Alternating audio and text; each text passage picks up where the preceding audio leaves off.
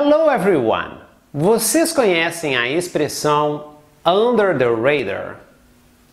Under the radar significa debaixo do radar, ou seja, passar desapercebido, ficar em segredo ou não ser detectado. Então vamos ver alguns exemplos and as always, listen and repeat.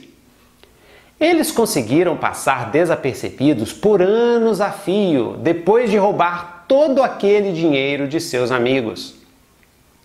They managed to stay under the radar for years after stealing all that money from their friends. They managed to stay under the radar for years after stealing all that money from their friends. Muita corrupção passou desapercebida por muitas décadas. A lot of corruption stayed under the radar for many decades. A lot of corruption stayed under the radar for many decades. Depois de uma carreira de sucesso por muitos anos, por que essa banda está passando desapercebida agora. After the successful career of many years, why this band is staying under the radar now?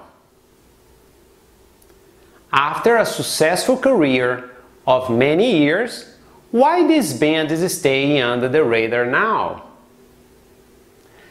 Excellent! Faça agora uma frase usando under the radar nos comentários abaixo e melhore o seu inglês.